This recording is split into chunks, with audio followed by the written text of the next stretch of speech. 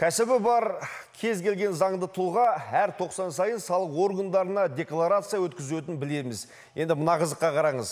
2020 жылдан бастап тайлы тұяғымызға дейін қолда бар дүниеміздің бәрін жариялап, мемлекеттің алдында есеп беруге міндеттіміз. Тіпті балаңыздың өзі де жеке меншігіндегі активтерін декларациялауға міндеттелмек. Ал белгіленген мерзімге дейін үлгермедіңіз бе, онда әкімшілік жауапкершілікке тартыласыз. Қомақты айыппұл төлейсіз. Баспана, ақша, меншік көлікті ғана көрсетсе болды деп ойласаңыз, тағы да қателесесіз. Қорада тұрған төрт түлікті де жариялауыңыз керек. 15 шілде 15 шілдеге шейін бәрі қағаз бетінде тапсырылады а э, жаңа электронды электронды етсеңіз онда 15 қыркүйекке шейін уақытыңыз созылады Баспана, көлік, төрт түлік депозиттегі және қолма-қол ақшадан бөлік құны 12 миллион теңгеден асатын мүлікті де жария ету қажет.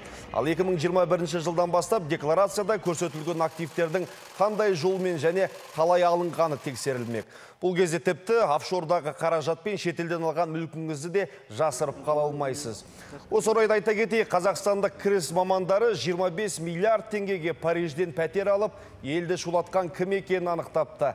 Шенеуніктердің сөзіне сенсек, аты жөнін айтпауды талап еткен азамат үкіметтік органда қызмет етпейді екен. Айтпақшы, декорацияланған мүлкіңізді жалпақ жұртқа жария ету немесе етпеу өзіңіздің құқығыңыз.